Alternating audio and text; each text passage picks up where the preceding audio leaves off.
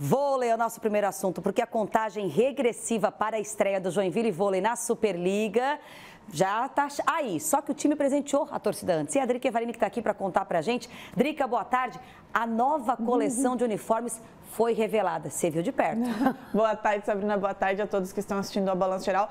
Realmente, a contagem regressiva já está aí, né? Já é amanhã estreia, mas ontem a gente teve aí a revelação dos novos uniformes da coleção nova, né? Uniformes, camisas de passeio, mochila, mala, tudo foi revelado em um evento que aconteceu aqui no Shopping Miller. A gente vai dar uma olhadinha como ficou esse uniforme, que inclusive tem uma ligação muito grande com a história de Joinville.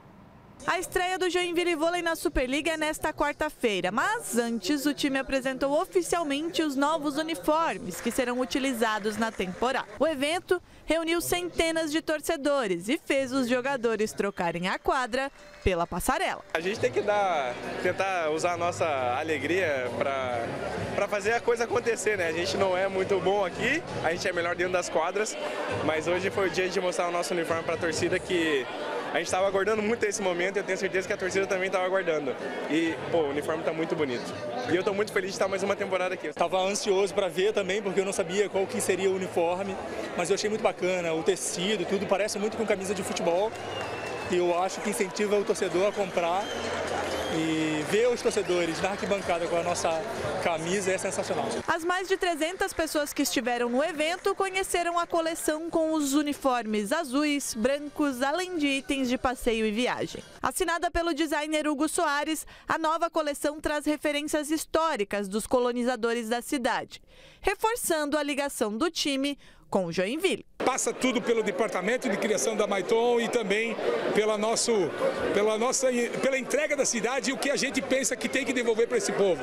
Seja com é, o projeto social, seja com a categoria de base que ano que vem a gente vai começar, seja com o retorno na quadra que a gente tem que dar, porque também a gente busca performance. Então são formas de retribuir e sempre levando o nome de Joinville à frente de tudo disso. E agora a ansiedade é pela estreia contra o Suzano. Muito ansioso, porque nosso estadual a gente sempre bate na tecla, não é tão forte, então a gente passa o carro na galera, humildemente falando.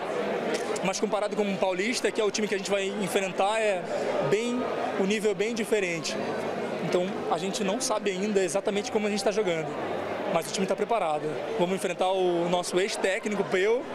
Com certeza ele vai querer vir para cá e ganhar, estragar nossa festa, mas a gente está aguerrido para não deixar. Tá aí, né? Uniforme que faz essa ligação do time com a cidade novamente. No ano passado a gente já teve o próprio escudo do Joinville Vôlei, traduz isso ali com o moinho da entrada da cidade.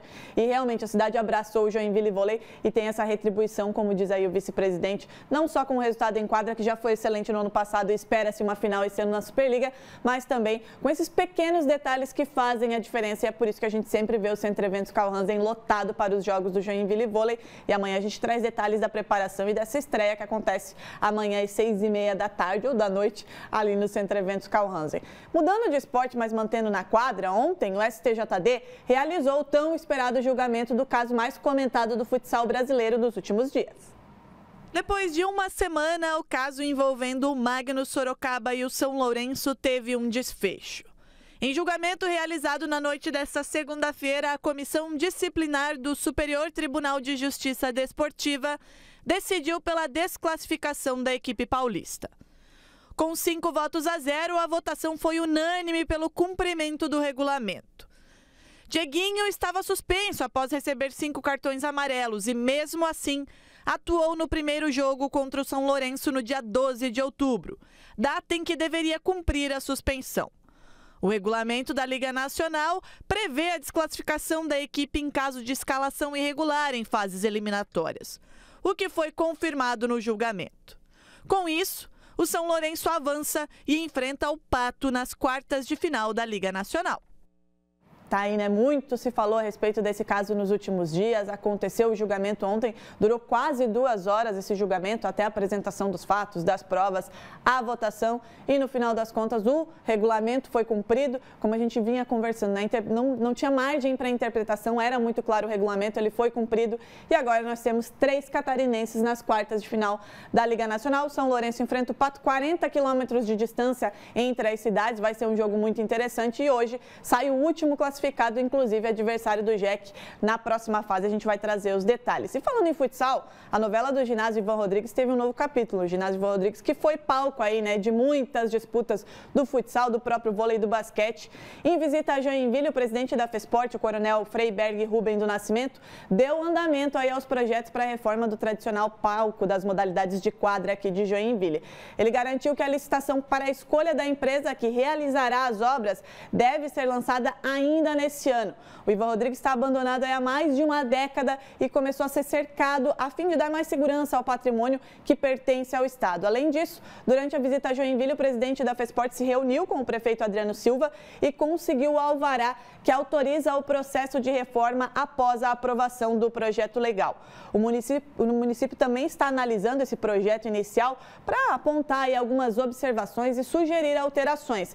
Entre as mudanças já previstas na estrutura estão a demolição de toda a arquibancada e a ampliação das medidas da quadra, inclusive para poder abrigar aí os jogos de futsal da Liga Nacional quando precisar colocar aquela quadra 40 por 20, né, Sabrina? Para que a gente volte a ter os grandes espetáculos que quem esteve no Ivan Rodrigues lá atrás se lembra, lembra muito bem. Eu tenho uma memória afetiva uh. do Ivan Rodrigues, muita gente tem. A gente espera que nos próximos meses, de fato, isso saia do papel. Então, o pessoal que observar aquele tapume que está sendo colocado no entorno, calma, não tem nenhuma obra iniciando ainda, o que significa que a gente vai continuar a acompanhar, porque agora, com o projeto em mãos, o governo do estado vai atrás daquela burocracia, que é licitação, edital, para ter a empresa e colocar em prática. É uma dó, é uma dó, a gente uh. quer da cidade, passar ali pelo Ivan Rodrigues e ver aquilo ali do jeito que está, há mais de uma década, como você falou, precisa e merece, né? Precisa, merece. E a torcida quer tanto, né? Tem essa memória afetiva, quer voltar ao Ivan é. Rodrigues e a gente espera voltar aqui nos próximos meses para falar de andamento de obra, de conclusão e voltar a fazer matérias lá dentro, né, é. né, Sabrina? Não, e localização nobre, né, gente? Ali, ó, na Max Colim, muito legal. Obrigada pela novidade, Drique. Vamos conversando, claro, muito aqui no Balanço Geral. Boa tarde para você e para quem está em casa. Valeu!